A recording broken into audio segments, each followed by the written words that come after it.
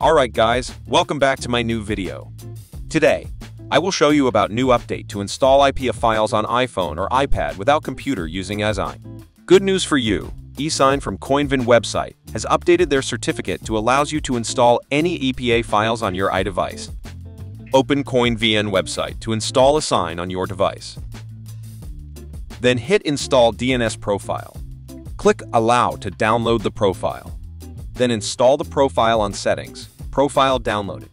Then click Install. You will see an icon eSign CoinVN on your home menu. Click that. Scroll download till you see eSign Link Installer. Please try clicking and installing all the designs on this website. Try one by one until eSign is successfully installed on your device. After eSign has been successfully installed, then click eSign app icon.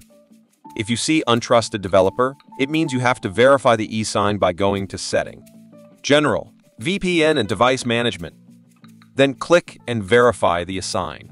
Now, you can open eSign app. After that, you can't use eSign to install IPA files. You have to import the certificate into eSign. Open the CoinVN website again, then download the eSign certificate.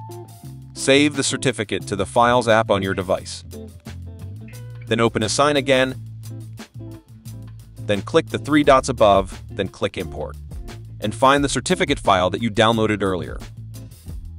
Then unzip the certificate and select the name of the certificate that you verified earlier in the settings. After that, click Import.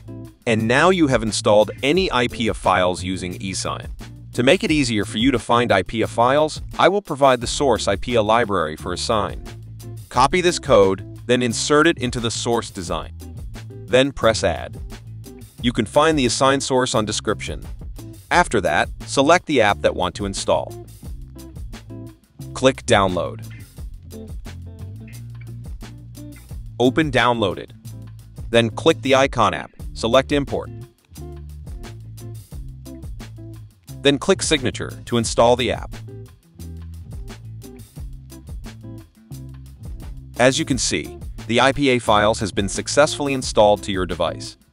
You can install IPA files using eSign without limits and without limitations, without needing to search for IPA files manually with this eSign source. Okay, thanks for watching this video and see you next time.